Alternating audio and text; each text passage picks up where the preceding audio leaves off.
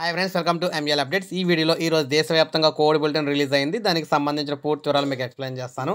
ఇక టాపిక్లోకి వెళ్ళిపోదాం. ఈ వీడియోని అయితే లైక్ చేయండి సబ్స్క్రైబ్ చేసుకోకపోతే మన ఛానల్ సబ్స్క్రైబ్ చేసుకొని ఫాలో అవుతుండండి.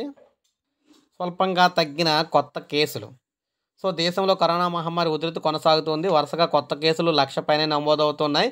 అయితే నిన్న రోజువారీ కేసులో స్వల్ప తగ్గుదల కనిపించింది. మరోవైపు కొత్త వేరియంట్ ఒమిక్రాన్ కేసులు నాలుగు వేలు కూడా చిల్లర అయితే దాటిందనమాట. సో సోమవారం పదిహేను లక్షల మందికి పైగా కరోనా నిర్ధారణ పరీక్షలు చేయగా అందులో లక్ష అరవై ఎనిమిది వేల అరవై మూడు మంది వైరస్ పాజిటివ్గా తేలింది. ఇందులో ముందు రోజు కంటే కేసులు ఆరు పాయింట్ నాలుగు శాతం మేర తగ్గాయన్నమాట పాజిటివిటీ రేట్ ఏమో పది పాయింట్ ఆరు నాలుగు శాతానికి చేరింది. మహారాష్ట్రలో ముప్పై మూడు వేలు ఢిల్లీ పశ్చిమ బెంగాల్లో పంతొమ్మిది వేలు కేసులు చొప్పున నమోదైనవి కర్ణాటక తమిళనాడు రాజస్థాన్ గుజరాత్ వంటి పలు రాష్ట్రాల్లో వైరస్ ఉధృతి చూపిస్తుందన్నమాట ఇక ఇప్పటి వరకు దేశవ్యాప్తంగా మూడు పాయింట్ యాభై ఎనిమిది కోట్ల మంది వైరస్ సోకింది.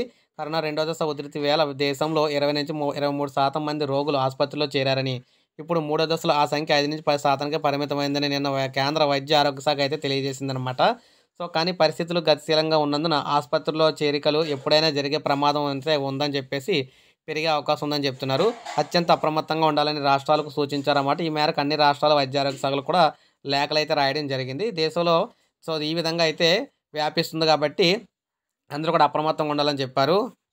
ఇక ప్రస్తుతం ఇక్కడ యాక్టివ్ కేసులు చూసుకున్నట్లయితే ఎనిమిది లక్షల ఇరవై ఒక్క వేలకు అయితే చేరిపోయినాయి అనమాట సో అదేవిధంగా చూసుకున్నట్లయితే నెక్స్ట్ నిన్న అరవై తొమ్మిది వేల తొమ్మిది వందల యాభై తొమ్మిది మంది కోలుకున్నారు. మొత్తంగా మూడు పాయింట్ నాలుగు ఐదు కోట్ల మంది కోలుకోవడం జరిగింది.